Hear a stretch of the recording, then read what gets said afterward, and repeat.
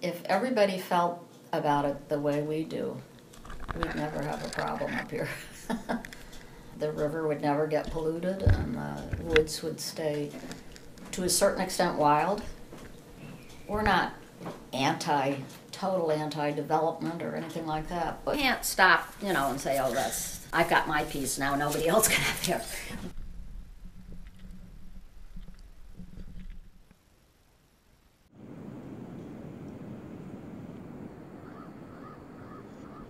There are places here where I used to run around wild, and you can't do that anymore because you know there are houses and people that don't really want you on their property. But, um, so, as much as possible, I think it's nice to reach that balance, so that the people who really do come here to vacation and get away from it all really are.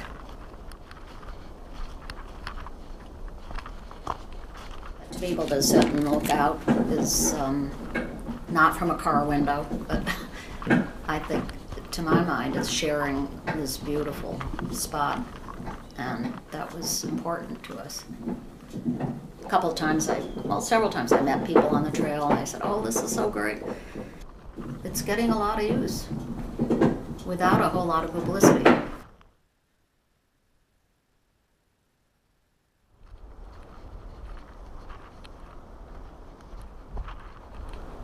Because I felt very strongly that there should be some presence on the water. We have this lot next door, and what we did is um, gave DRA a right of way down to the water.